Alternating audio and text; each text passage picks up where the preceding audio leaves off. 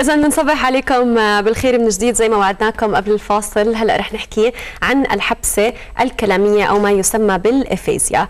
لنعرف أكثر شو هي الإفيزيا أو الحبسة الكلامية بنرحب بأخصائية النطق واللغة صفاء الوستنجي. صباح الخير صفاء. صباح النور كيف حالك؟ الحمد لله. أهلا وسهلا. شو أخبارك؟ تمام؟ تمام. خلينا بالبداية نعرف إيش هي الحبسة الكلامية أو الإفيزيا. الحبسة الكلامية هو إنه الشخص يتعرض لضربة أو يتعرض لمشكلة تؤدي إلى نقص التروية العصبية على المناطق المسؤولة عن اللغة التعبيرية واللغة الإدراكية. نعم. بهاي الحالة الشخص رح يفقد سواء اللغة التعبيرية أو اللغة الاستقبالية أو اثنيناتهم. نعم. بأي عمر؟ يعني بتصير مثلا الحبسة الكلامية بعمر معين يعني إذا الشخص تعرض لضربة قوية هي يمكن بمنطقة الدماغ بتكون مم. الضربة. بأي عمر ممكن يصيبوا الحبسة الكلامية ولا هي مثلا للكبار بالعمر أعمار معينة؟ هلأ إحنا شو يعني دائما الحبسه الكلاميه أو اضطراب ال aphasia بنطلقه على الاضطرابات ذات المنشأ العصبي اللي بيكون الشخص already كون لغة. يعني نعم. هلأ الأطفال بيكون عندهم تأخر لغة هذا شيء ثاني بيكون اضطراب لغة بس هو ما كون لغة.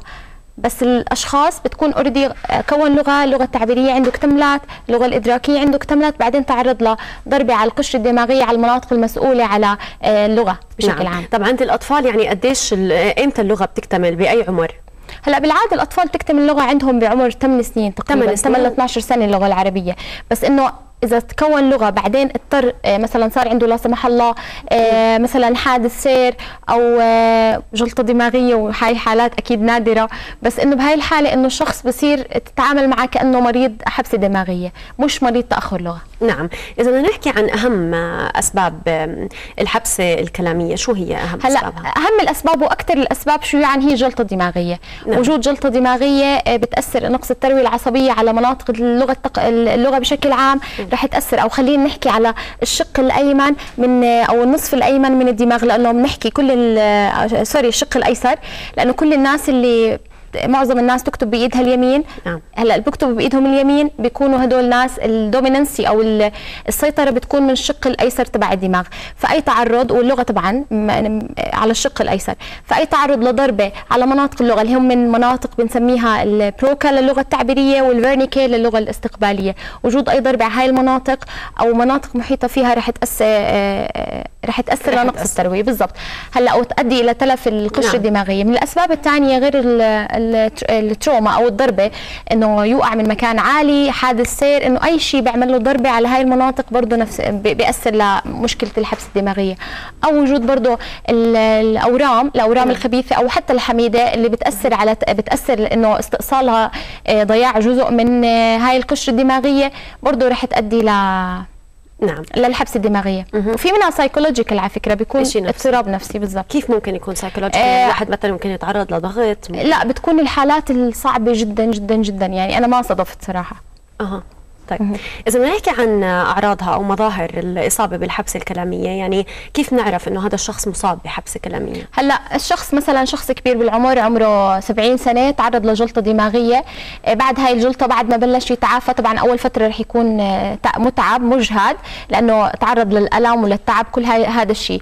بعد بفترة مثلا لما جسمه يعني يرتاح وخلص إحنا نصير نتعامل معه كأنه إنسان مثلا بعد أسبوع من الجلطة بيكون فقد الكلام ممكن غير إنه فقد الكلام أو التعبير ممكن إنه يكون يحكي بطريقة عشوائية أو ممكن إنه يكون مش فاهم اللغة اللي نحن بنحكي معاه فيها وبرضه من الأشياء الثانية في كثير منهم بترافق وجود ال- ال- الحبس الكلامية مع وجود شلل بالنصف ال- بالن- بالنصف الأيمن من نعم. الجسم.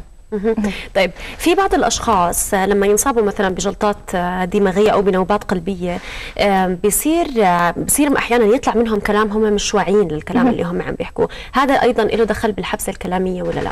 هلأ بالعادة الأشخاص اللي بيصير عندهم ال- ضربة أو بتصير عندهم ال- التلف بيصير في المناطق منطقة بتسمي المسؤولة عن ال- اللغة التعبير اللغة sorry الاستقبالية اللي بنسميها نحن Wernicke ال Wernicke area هاي بال- بال- بالقشره الدماغية. هدول الأشخاص بيكون كلامهم جدا عشوائي بيكون غير قادرين أصلا غير قادرين على استيعاب الكلام اللي بنحكى معهم.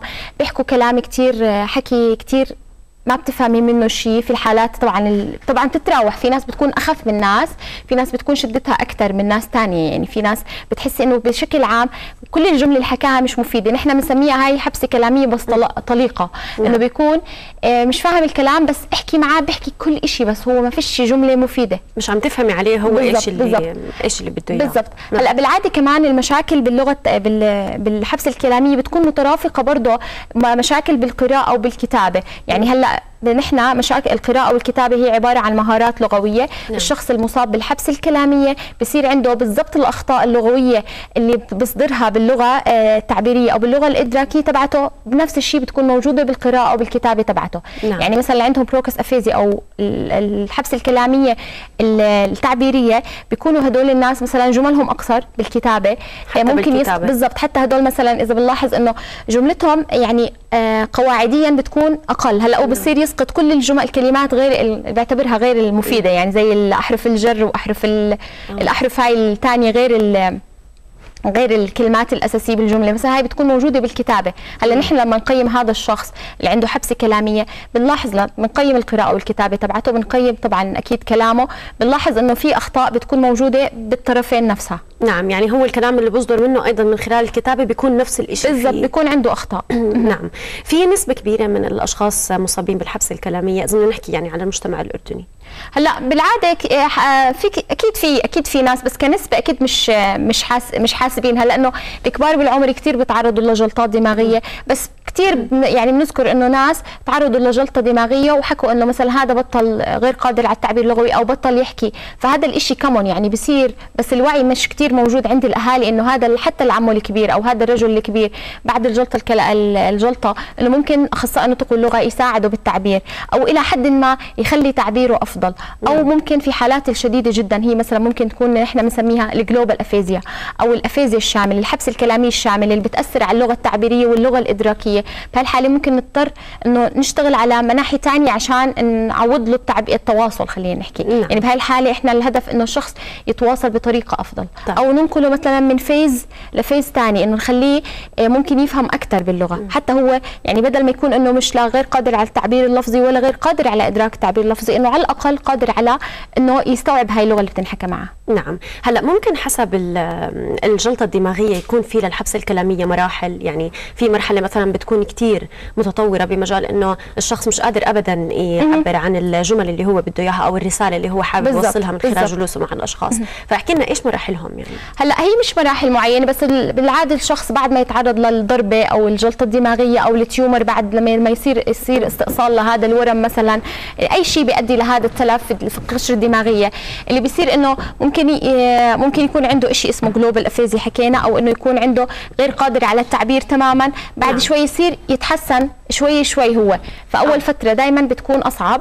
شوي شوي بصير الشخص يسترجع الكلمات لأنه البيئة اللي بنحط فيها كثير بتأثر. هلأ لما أنا يجيني شخص وكبير بالعمر وصار عنده جلطة وبعد هاي الجلطة مثلا إنه حطيناه في البيت وضل الكل يحكي معه ويعززه وي- ويساعده هذا الشيء بيخليه يسترجع جزء من ال- الكلام اللي هو آه، فقده يعني. يعني الأسرة لها دور كبير طبعا دور، بالتعامل مع أكيد. المصاب ب آه، واحتواء المشكلة أكيد. طبعا. طب اذا بدنا نحكي هلأ عن أخصائيين النطق واللغة إمتى لازم الشخص يلجأ لاخصائي النطق واللغة وكيف تتعاملوا معهم؟ هلأ أخصائي يعني بالعادة أخصائي نطق اللغة تدخله أكيد مش حيكون بأول أول مرحلة بعد الضربة أو بعد الاستئصال whatsoever أو بعد ما صار المؤثر اللي أدى لتلف. هلأ بيكون دوره أول فترة محدود بيكون دور الطبيب لأنه الطبيب بيكون كتير آه، مسؤول على إنه الشخص هلأ صحته أفضل. سوري صح. مسؤول على إنه يصير آه، آه، بشكل عام السبب أو المسببات اللي عملت له هذا هاي هذا المسبب إنه يصير آه، ي- يزول مثلا. نعم. فبصير بعد شوي بصير صحته أحسن هو واعي أكثر بتدخل أخصائي نطق اللغة بس كل ما كان تدخله أسرع بيكون أفضل لأنه أول فترة أول ست شهور من بعد الضربة أو من بعد التلف هذا اللي حدث عنده بالقشرة الدماغية بيكون العلاج فعال أكثر بيكون أحسن. بس طبعا زي ما انت قلتي مش أول الإصابة بالجلطه ال- أها. الدماغية يكون في علاج سريع. نستنى شوي. مش عبين ما نستنى شوي. عبين ما يصير الشخص صحته أفضل. آه. يعني لأنه أول فترة بيكون لسه في أبعاد التعب والألم. هاي الأشياء بيكون مسؤول عنها الطبيب. بعد شوي مثلا أسبوع اثنين ثلاثة بيكون صحته بشكل عام أفضل. المسببات اللي عملت له الجلطة الدماغية مثلا زالت كل هاي الأشياء. فبصفي وجود أخصائي نطق اللغة يساعد الأهل كيف يتعاملوا معها كيف يحتوي المشكلة؟ وبرضه يخضع على برنامج وتدريب نطق ولغه نعم. بتحسي إنه بالأردن في اهتمام بالأشخاص اللي مصابين بالحبس الكلامية؟ يعني مثلا الأهل لما يصير في عندهم حالة من أي حدا من أفراد الأسرة أصيب مثلا بجلطه دماغية معينة وتعرض للحبس الكلامية بتحسي إنه في إقبال كثير على أخصائيين النطق واللغة بعلاج موضوع الحبس الكلامية ولا لا؟ إذا في وعي. اهتمام. إذا في وعي بيكون في على الأقل في استشارة. إذا في وعي يعني كثير ناس بيكون مثلا آه، هلأ مثلا كثير حالات حكيت لك بيكون مترافق مع وجود شلل بالنصف الأيمن من من جسمه. فبهاي الحالة ممكن أخصائي العلاج الطبيعي يحكي لهم إنه آه، هذا مثلا مشكلة الكلام عنده بوجود في زميل له أخصائي نطق اللغة ممكن يساعد أو ممكن يكون طبيب الأعصاب برضه حكى لهم عن المشكلة وحكى لهم إنه وجود برضه تدخل من أخصائي نطق اللغة هذا برضه بيساعد.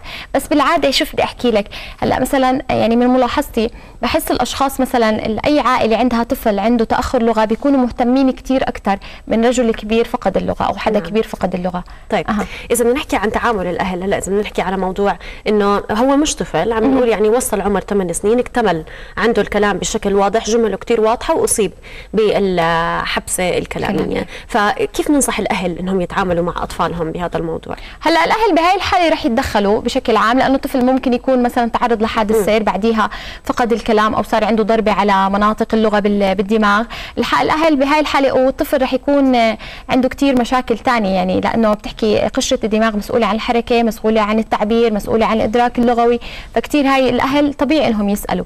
نعم. طيب موضوع الحبس الكلامية أو مشكلة أو اضطراب الحبس الكلامية بشكل عام صفاء صعب علاجه يعني من الاضطرابات الصعبة إنه يتعاملوا معها اخصائي النطق واللغة ولا إذا ضل في متابعة من قبل المريض مع اخصائي النطق واللغة بيكون الموضوع سهل. هلأ شوفي وجود تلف بالقشره الدماغية أو وجود تلف بالمراكز العصبية دائما بيوحي لنا إنه المشكلة صعبة. مثلا أسهل من شخص ثاني مثلا عنده مشكلة بس حركية أو كذا. فبهاي الحالة مثلا دور أخصائي النطق يعني بيكون سنترال للمشكلة بتكون مشكلة بالمراكز الأساسية. آه، بهاي الحالة برضه صعوبة العلاج والتدخل بيعتمد على كثير أشياء. زي. من الأشياء حجم التلف. مثلا. من الأشياء الأبعاد الثانية اللي عنده تأثرت فيها يعني مثلا يجيني مريض عنده global aphasia أو aphasia شامله اثرت على مراكز الاستقبال للغة ومراكز الكلام أو التعبير اللغوي. فهي الحالة كثير أصعب مثلا من شخص ثاني عنده بس فقد اللغة على التعبير. نعم. لأنه هذا التعامل معه أو في مثلا أشخاص بيفقدوا بس مثلا بس انه القدرة على إنه يسموا الأشياء. هو يعني تسأليه شو مثلا هاي يحكي إنه بدل ما يحكي كرسي يحكي لك كثير أشياء يحكي لك كثير صفات لها بس إنه يسميها بيكون عنده صعوبة. طبعا هذا تعامل معه كثير أسهل من شخص يعني بيعتمد على حجم التلف حكينا وبيعتمد على متى صار التدخل. يعني أنا مثلا يجيني مريض آه، صار عنده الحبس الكلامي أو صار عنده الضربة مثلا من آه، من شهر كثير أسهل أو التعامل الاستجابة للعلاج كثير رح تكون أسرع. أسهل. من شخص صار له ثلاث سنين غير قادر على بيكون خلص تعود يمكن على آه لا مش بس أول شغله الأهل بيكونوا تكيفوا شغلة ثانية بيكون لو صار في ريكفري أو صار في إنه آه، لحاله مرات الجسم هلأ التأهيل التأهيل بشكل عام شو؟ تأهيل النطق أي نوع من التأهيل الثاني وعبارة عن facilitation هو بيسرع عملية الاكتساب وعملية إنه الشخص رح يتطور رح يتطور. فإنه لو إنه هذا الشخص بده يسترجع اللغة كان أس يعني بأول ست شهور حكينا أو أول سنة كان يسترجع حجم كبير منها. نعم. طب هلأ صفاء غير إنه الجملة بتكون مش مفيدة أو الجملة مش كثير واضحة من قبل المصاب بالحبسه الكلامية بيكون في كمان تقطيع بالجمل؟ بيكون في مثلا آه، أحرف مش كثير واضحة من خلال ال ال يعني للمصاب بالحبسه الكلامية؟ هلأ كثير من من الأشياء البارزة باللغة عندهم هدول الأشخاص. بصير عندهم مثلا حكيت لك بيكون عندهم مشاكل أو أخطاء دلالية إنه مثلا بدل ما يحكي بدل بدل ما يحكي إنه هذا ابني بيحكي بحكي هاي بنتي. هو فاهم إنه فاهم إنه هذا يعني ابنه أو بنته بس هو غير قادر على إنه يسا إنه يعطي صفته آه. له بشكل تماما بشكل صحيح 100% بس يعني قصدي إنه ما في تأتأة بالكلام لا مش تأتأة. هلأ بيكون عندهم أخطاء أخطاء حكيت لك فونولوجيه بس مثلا ممكن يحكي لك بدل آه كرسي يحكي لك مثلا آه، فرسي؟ كثير أخطاء كمان كثير غريبة. يعني ممكن يحكي لك طاولة يحكي لها باولة مثلا. آه بال آه. بالأحرف. بالضبط. وبالذات بتكون كمان كثير مرتبطة بالكلمة اللي حكاها قبل. يعني لو حكى مثلا باب آه بيارة ممكن يحكي إنه با آه. با. يعني كثير هذا الإشي كثير وارد بيكون عندهم. طيب بيكون في غياب مثلا للاحرف في احرف ببطل ببطلوا يقدروا إنه ينطقوها أو ي... أو تطلع منهم زي لا هي أحرف هي لا هي مشكلة حكيت لك لغوية. هلأ هذيك مشكلة ثانية تماما إذا بتكون مشكلة حكينا موتور بتكون أو مشكلة حركية بتكون اسمها ديسارثريا بتكون ما بتأثر على المراكز العصبية أو مراكز بالقشرة الدماغية بتكون بتأثر على التوصيلات وعلى الأعصاب بشكل عام. نعم. طيب الجلطات الدماغية على إيش كمان ممكن تأثر غير الحبسه الكلامية؟ يعني إيش في أعراض من خلال النطق بتأثر عليها الجلطات الدماغية. هلا الجلطات الدماغية حكيت لك حسب وين التلف بصير أو حسب وين الجلطة الدماغية بتأثر هون بصير مشكلة. هلا مثلا كثير أشخاص بصير عندهم مشاكل بالترويه العصبية للأعصاب الفيشل اللي بتأثر على عضلات الوجه. فبهي الحاله مثلا بصير عنده فيشل بلسي فبتأثر على الاصوات الشفوية. آه. في مثلا ممكن بتأثر على الأعصاب اللي بتعمل التروية العصبية للسان فبصير بهي الحاله عنده مشاكل بالأصوات اللسانية مثلا. حسب المشكلة وين بالضبط. بس هاي نحن كنا مشكلة ثانية اسمها ديس ارثريا نعم. اذا هيك إن شاء الله بنحكي المرة الجاية أو المرات القادمة بنحكي عن المشاكل الأخرى اللي ممكن تسببها أكيد. الجلطات الدماغية. أنا بدي أتشكرك. شكرا لك أخصائية النطق واللغة صفاء البستنجي أهلا وسهلا فيك. أهلين. い。